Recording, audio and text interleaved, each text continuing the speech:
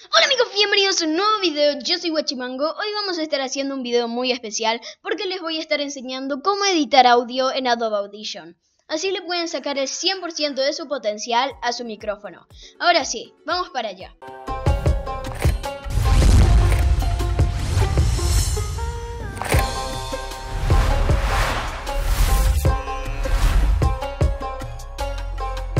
Lo que necesitan es tener Adobe Audition instalado en su computadora y el audio que quieran editar. Yo en mi caso tengo este audio. Voy a saludar a todos los que comenten cerdito. Lo que vamos a hacer hoy es copiar esto y luego pegarlo acá para tener una diferencia entre un antes y un después. Lo que siempre suelo hacer cuando comienzo a editar mis audios es seleccionar la parte que quiero editar, ir a efectos, a filtro y S e ir a ecualizador paramétrico. Esto es un ecualizador, no sé por qué le ponen paramétrico, pero sirve para ecualizar. Lo que yo siempre suelo hacer es ponerlo de esta manera. es decir, subir los bajos, los graves y los agudos, también los altos. Así todo queda más... Mm, no sé, me gusta cómo suena así, eh, suena como más colorido el color. obviamente el color no sé. ¿Qué estoy diciendo? Vamos a seguir. Siempre suelo poner así para subir los graves, los agudos y bueno, pueden pausar el video y ponerlo como yo lo pongo en este caso, así que sigamos ponemos aplicar y como vemos un ligero cambio que si lo reproducimos a los dos audios no se va a notar la diferencia. Lo siguiente que me gusta hacer es reducir el ruido de fondo, ya que si nosotros amplificamos esto, pueden ver que por acá hay bastante ruido de fondo. Y bueno, nosotros no queremos que haya ruido de fondo porque se escucha feo, todos los ventiladores. Y no queremos eso. Entonces lo que vamos a hacer es seleccionar el ruido de fondo, lo que siempre se escucha de fondo. Vamos a ir a efectos, reducción de ruido, restauración, capturar impresión de ruido o simplemente apretamos Shift P y esto lo que hace es capturar todo el ruido de fondo. Luego ponemos reducción de ruido en efectos, reducción de ruido, proceso o apretamos Control Shift P y acá nos va a aparecer esto. Acá, reducción de ruido, siempre pónganlo en un 80%. Eso es cuánto por ciento lo va a reducir el ruido.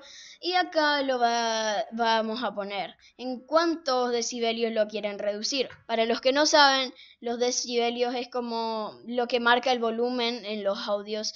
Eh, lo máximo, bueno, no es lo máximo, pero el límite sería como unos 0 decibelios, ya que cuando pasa de esa cantidad se satura el audio y queda distorsionado como esto. ¡Hola! Y nosotros no queremos eso. Bueno, perdón por eso.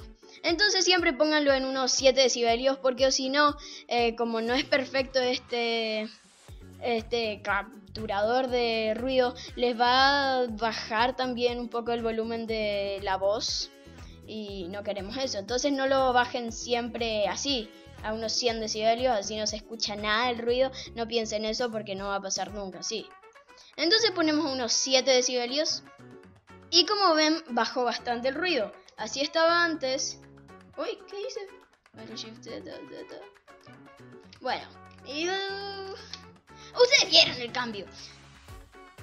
Entonces, lo que tenemos que hacer después es seleccionar la parte que queremos editar e ir a efectos, amplitud y compresión. Y esta es la parte que más me gusta, la verdad, porque esto le da un toque de que los cuando hablamos fuerte y cuando hablamos bajo no haya una diferencia.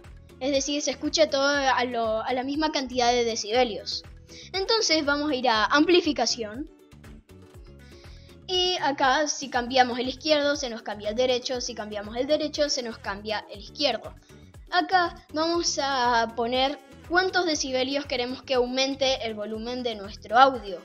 Si nosotros ponemos que aumente 3,8 decibelios y el volumen de nuestro audio está a menos 12, no nos va a, no nos va a aumentar a 3 decibelios, nos va a aumentar 3 decibelios más, es decir, si teníamos menos 12, ahora vamos a tener menos, menos 9.